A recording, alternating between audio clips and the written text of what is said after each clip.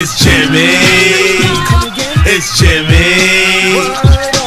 About uh, the show and your involvement with it. Um, I created and produced the animation for the show, um, which in the original Carl Sagan version, the narrative portions um, where we, they were telling stories about scientists were um, were live action actors.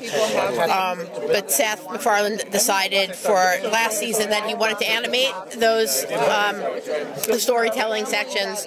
So uh, I created style and um, produced the, the segments of the show that are in animation. How difficult is to animate something like this? I mean, you'd imagine the colors, the the shape. eh, There's a lot to go into it, and the minuscule even thing that is outer space and all that. How do you approach that?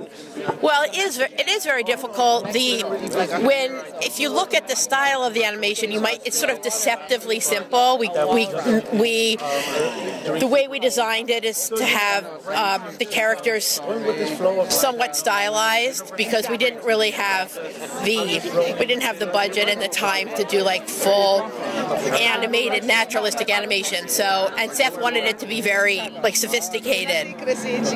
So, but it is it's way more difficult than than it may appear. The the backgrounds and the, there are many many locations, and the backgrounds are very are very full and rich and um, devised of a lot of different elements. And you know, we all have really high standards for for the animation because it has to work within the context of this huge show that has amazing visual effects and you know live action and Neil and you know it has to be something that works within the context and doesn't seem jarring to the rest of the show. So um, there are like subtle aspects to it that made that made it very difficult um, that you don't really necessarily see as as a viewer, but.